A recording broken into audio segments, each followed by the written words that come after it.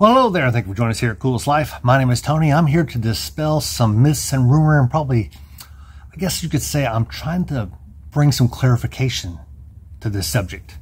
This subject being, of course, uh, Masonry. What is it and uh, what sets it apart from other organizations? And really, I want to take you, do a, a little more of a deep dive as far as uh, the organization as a whole in Masonry. So uh, if you ever want to learn about more about Masonry, you should probably go to a source. I'm going to tell you what kind of sources I have in just a minute. Because you just entered the coolest life, Masonic Edition.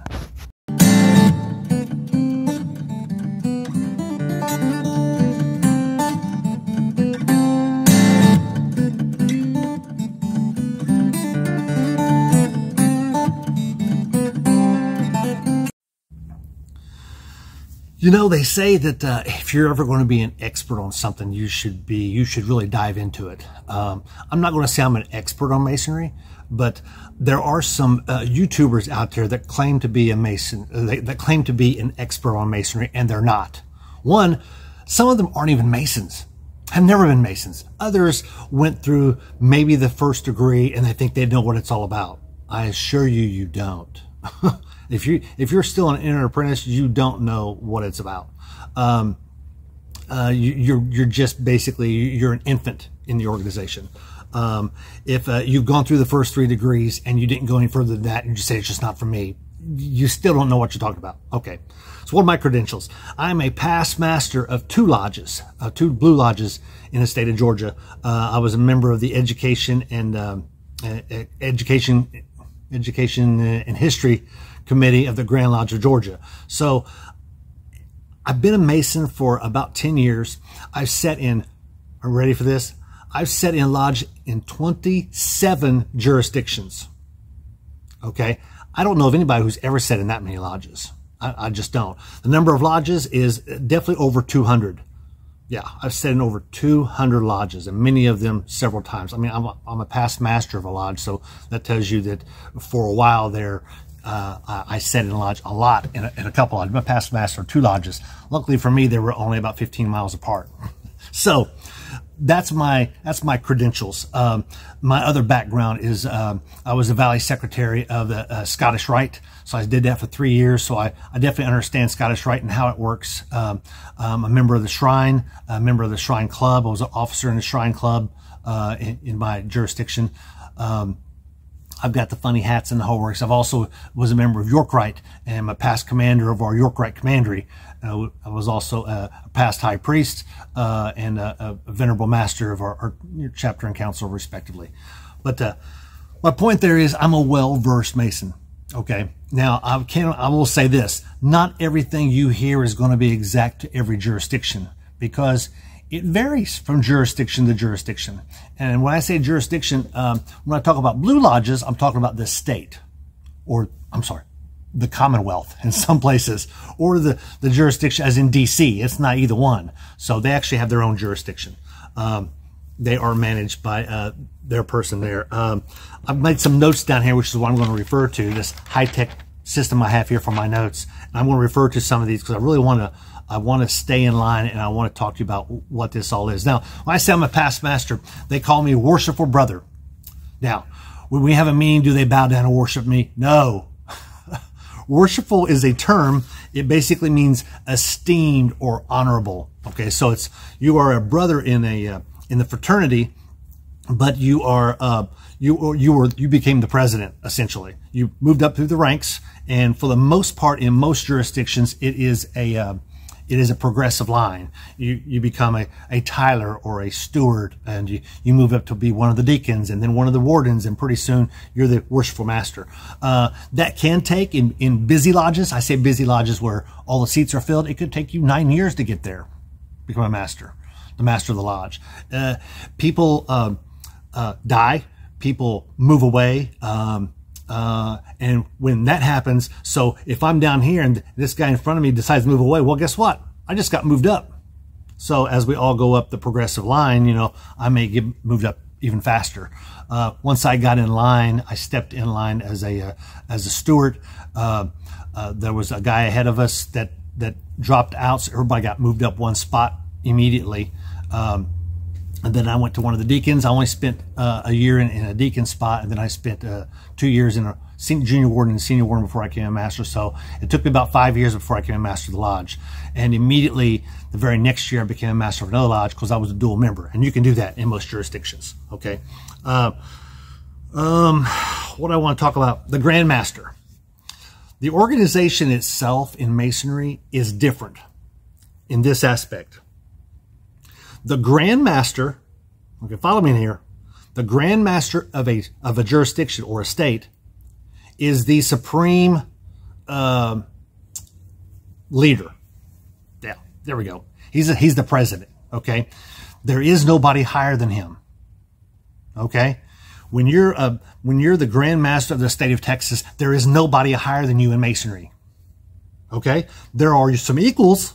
The Grand Master of another state, Louisiana, Georgia, California, they are equals. Okay, but as far as what happens inside the state of Texas, the Grand Master has the last the last say, and it is basically a dictatorship. I will say this: on a dictatorship, if you don't have an army that's going to follow you, it's hard to lead. So you need to lead with a with with, with the soft hand. Um, you can't lead with the iron fist. They will. They, there's ways for them to get rid of you if you lead that way. Now, and you're probably not going to become a grandmaster uh, that way. It's going to take you once you get in the grand line. It's going to take you nine years or so, especially in Georgia, because they have a basically a progressive line to become a grandmaster. Now, the grandmaster is uh, someone will say, "Well, I'm so I have so he's a third third degree mason." Boy, nothing irks me more than for someone to say they know someone who's a 33rd degree Mason because there's no such thing. Now, what do I mean by that? There isn't such thing as a 33rd degree Scottish Rite Mason. There is no such thing as a 33rd degree Shrine Mason. There is no such thing as a 33rd degree York Rite Mason. There is no such thing as a 33rd degree Blue Lodge Mason. And Blue Lodge is where it's at, okay? Blue Lodge is the Blue Lodge is the foundation. You can't be in the Shrine, you can't be in York Rite, and you can't be in uh, in the Scottish Rite unless you're a Blue Lodge Mason first. Okay, understand that. Once you become a Blue Lodge Mason, you, you get through the first three degrees. Um, uh, you get through those, then you can join those what we call appendant bodies, appendant organizations. Okay, so but that's going to be another video. I'm going to do a video on on a, a Scottish Rite. I'm going to do one on um, York Rite, and I'm going to do one on the Shrine because those are what I'm a member of, those, those are what I know. Okay, so um, as I mentioned before, the Grand Master is as high as you can get. He's a he's a third degree mason. He's a master mason. He is a more than likely a past master of a lodge. I don't think I've ever seen a Grand Master who wasn't a past master of a lodge. Uh, but he is the the the the the Grand Master. Okay, so he he basically his year is spent traveling. He travels like crazy. His his particular year and and the other officers in his line do also, but they travel, they give out awards, uh, they visit lodges and they have grandmaster visits, you know, so it's a big deal to most lodges to get a grandmaster to come visit, uh, especially if they haven't had one in several years. Uh, so, so grandmaster, what I want to say about them, um, that is not the same when it comes to Prince Hall Masons. Now, I'm not a Prince Hall Mason. Uh, I hear, I hear, because I'm not a Prince Hall Mason, I hear that there, in some jurisdictions, like maybe in Florida, there might be one or two different Grand Lodges of Prince Hall Masons. Okay, so there's there's more than one head chief over the state. Okay, so so keep that in mind. But uh, again, from then on out, as soon as you become a Grand Master of a jurisdiction, you're you are called most worshipful. Okay, so that's his title. So he's most worshipful brother, most worshipful past Grand Master. And when you put a um, you you put his title you'll say PMG for past Grandmaster or GM for Grandmaster. Uh, when you're sending them an email or something like that or a text, you would address him in that way. I know some want to be addressed by the first name, last name, whatever.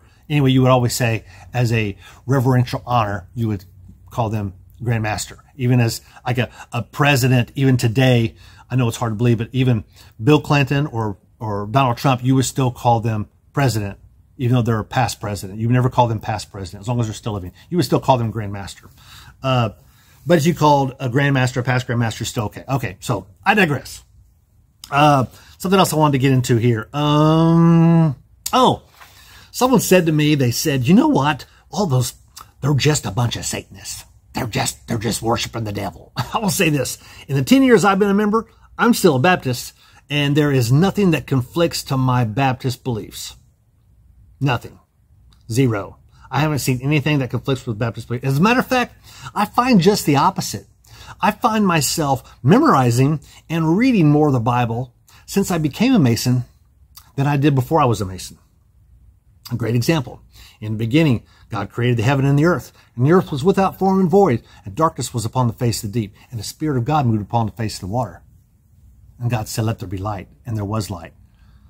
Now that is Genesis chapter 1, verse 1, verse 2, verse 3 is what it is. I memorized that since I became a Mason because it's part of our ritual.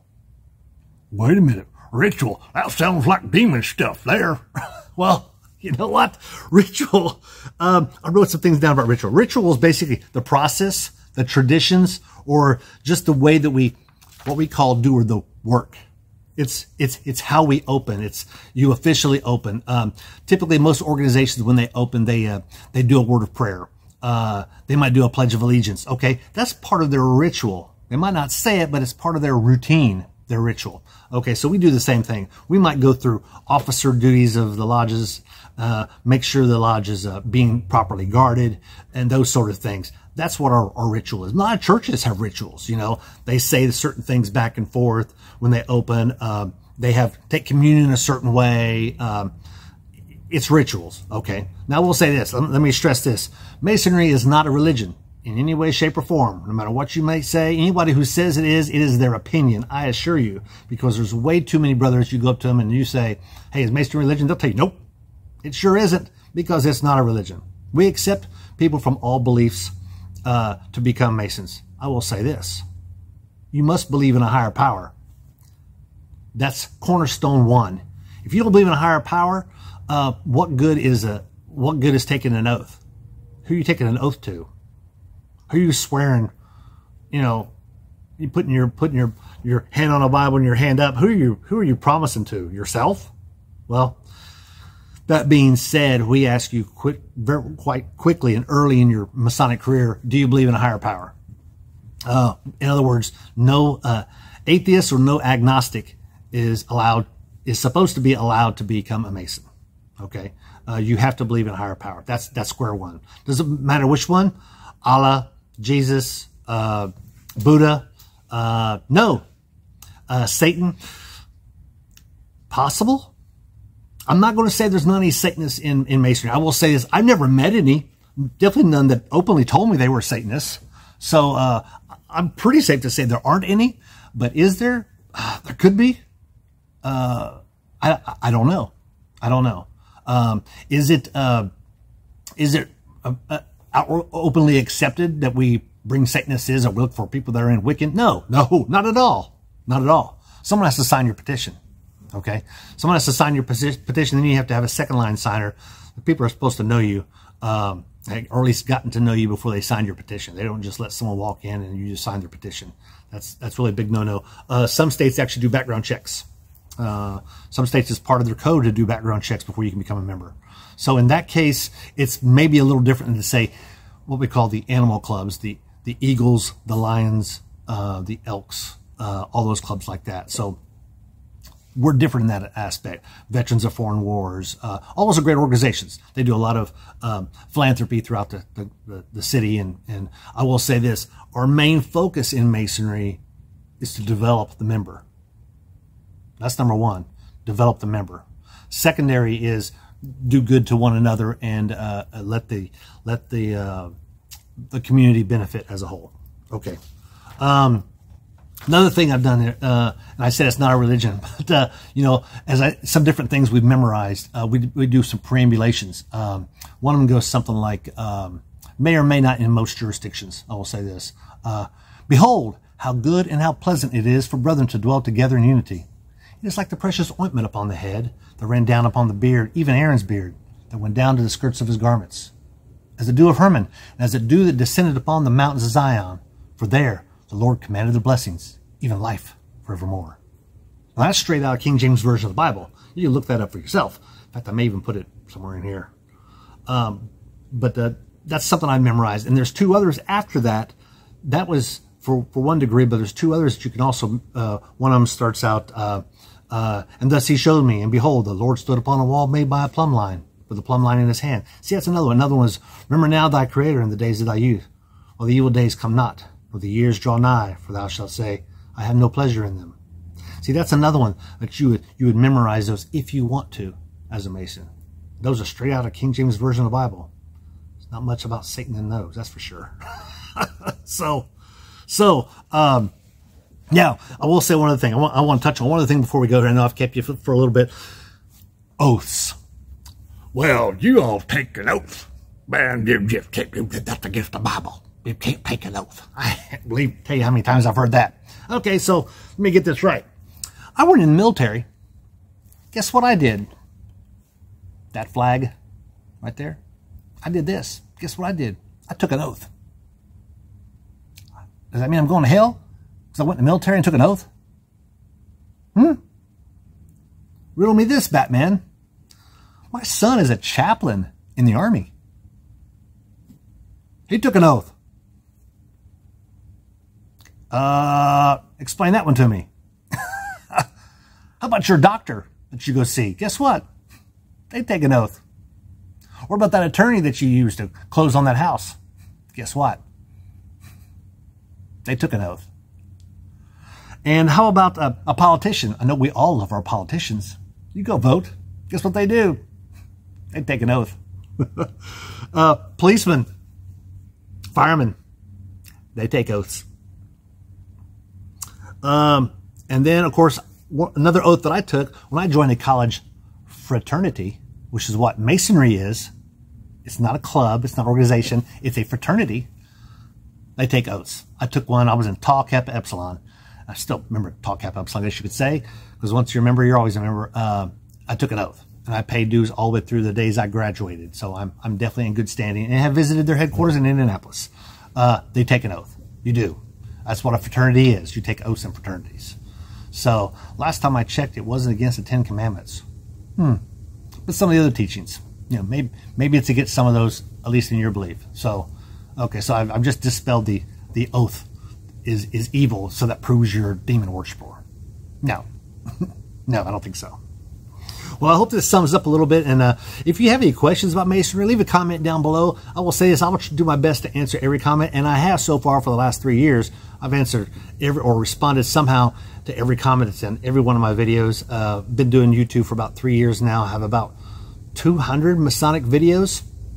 Um, so this is one of the few that I actually do teaching. This is a, a, good video that you could send to friends and neighbors who have questions about masonry, uh, about the structure itself, and how it's how it's built and designed, and and some of the different idiosyncrasies, and how it's not.